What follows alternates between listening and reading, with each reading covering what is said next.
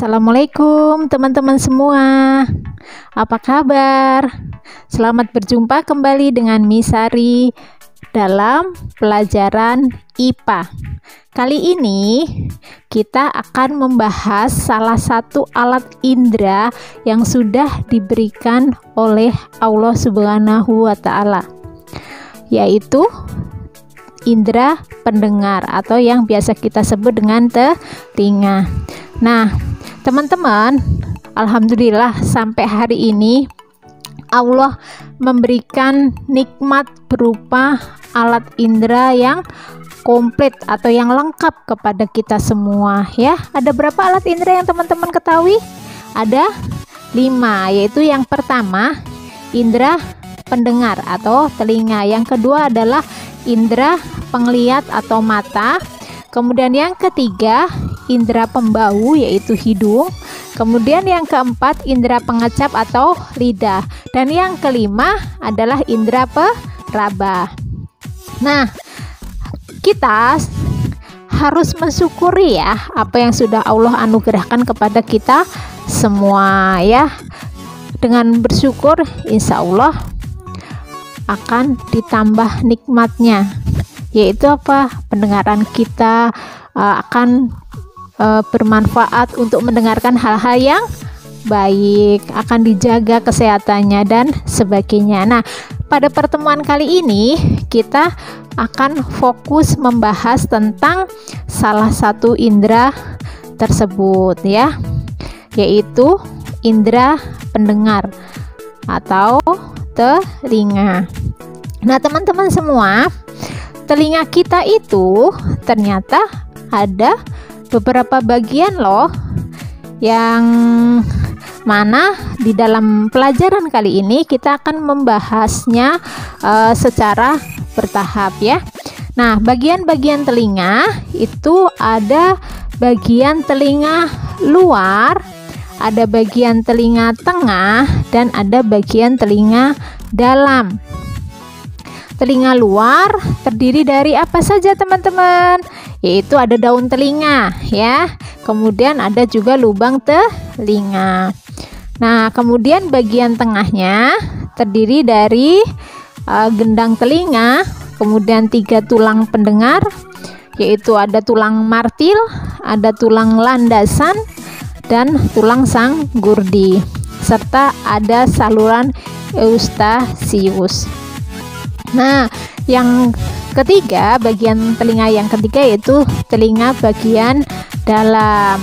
Telinga bagian dalam itu terdiri apa saja? Ada rumah siput, ada tingkap jorong, ada tingkap bunda, dan ada saluran setengah lingkaran yang merupakan alat keseimbangan tubuh. Nah, setiap bagian tadi memiliki fungsinya sendiri-sendiri ya. Coba uh, sambil menunggu sebelum kita lanjutkan ke materi berikutnya teman-teman ingat-ingat. Tadi yang sudah disebutkan bagian-bagian telinga ada apa saja ya? Nah cuk satu bagian telinga. Luar kedua bagian telinga. Tengah yang ketiga bagian telinga dah dalam ya. Oke terus uh, cara kerja telinga itu uh, telinga kan untuk mendengarkan suara atau bunyi yang dari luar uh, diri kita. Nah, di sini bunyi atau suara yang dari luar itu merambat melalui udara kemudian ditangkap oleh daun telinga. Tadi daun telinga kan e, merupakan bagian telinga luar kan. Kemudian bunyi sesudah ditangkap oleh daun telinga masuk ke dalam lubang yang disebut dengan saluran pendengaran luar. Nah, selanjutnya akan mengenai gendang telinga ya. Kemudian uh, dengan adanya perubahan tekanan dari saluran luar akan mengakibatkan gendang telinga ikut bergetar. Nah, getaran dari gendang telinga tadi akan diteruskan melalui tulang martil, tulang landasan, dan tulang sang gurdi. Nah, getaran tadi terus dilanjutkan lagi sampai ke rumah siput. Nah, selanjutnya di rumah siput ini akan mengubah getaran menjadi sinyal pendengaran.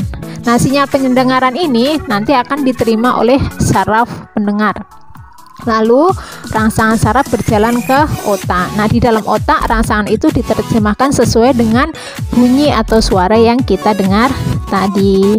Demikian ya teman-teman cara kerja telinga.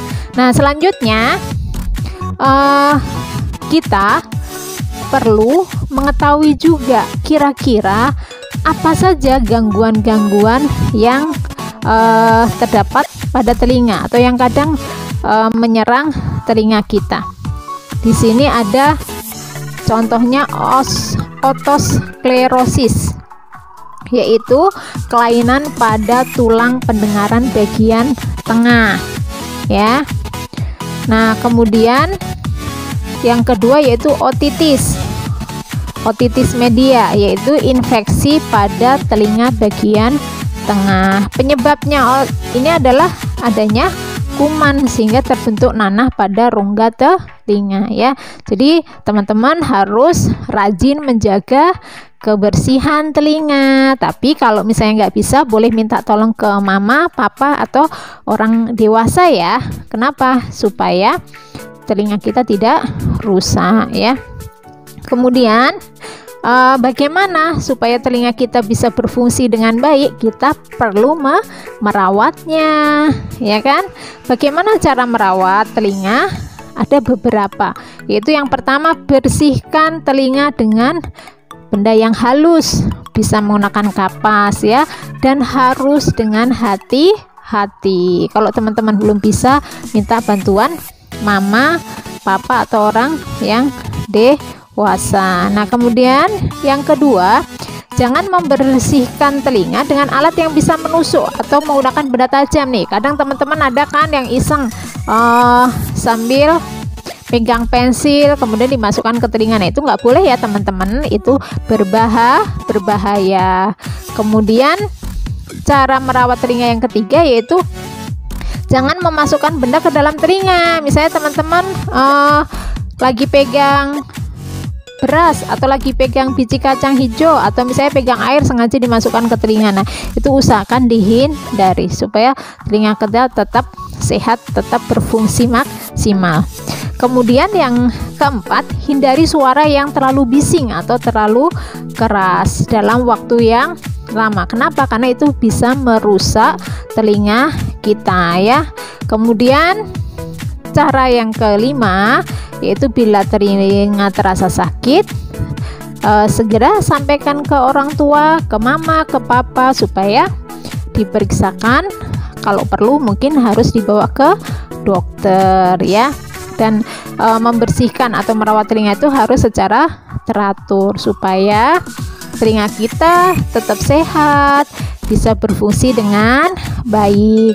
Nah, salah satunya selain hal-hal yang tadi sudah Misari sampaikan cara merawat telinga, kita sebagai umat yang beragama, kita manfaatkan telinga kita untuk mendengarkan hal-hal yang baik sebagai rasa syukur kita atas nikmat yang sudah Allah berikan ya. Dengan kita mendengarkan hal-hal yang baik dengan mensyukuri insya Allah telinga kita akan selalu terjaga ya. Demikian teman-teman. Uh, untuk materi uh, telinga pada hari ini. Terima kasih. Assalamualaikum warahmatullahi wabarakatuh.